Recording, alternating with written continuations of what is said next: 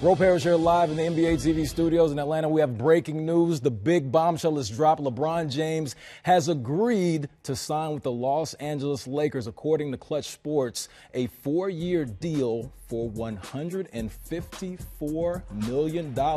So it has been agreed to in principle. There has been a statement released by Clutch Sports, and there is a lot of things happening. The big fish has dropped. It just happened and we are going crazy right here. There's plenty of tweets on social media. You know how NBA Twitter is. Zoe, y'all really thought he was going to pass up the greatest city in the world? Hashtag the king is here with the crown emoji. More tweets. Coos. Lake Show, King James. Let's go, my brother. Flexing, Lex Rock.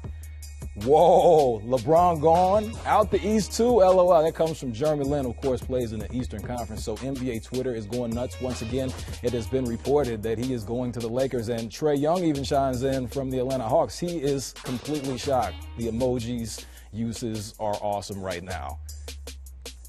So once again, you want to keep it locked right here. NBA TV is where you need to be for all the latest updates on all movement on free agency, including LeBron James breaking right now, going to the Los Angeles Lakers. I'm Ro Parrish. We'll see you soon.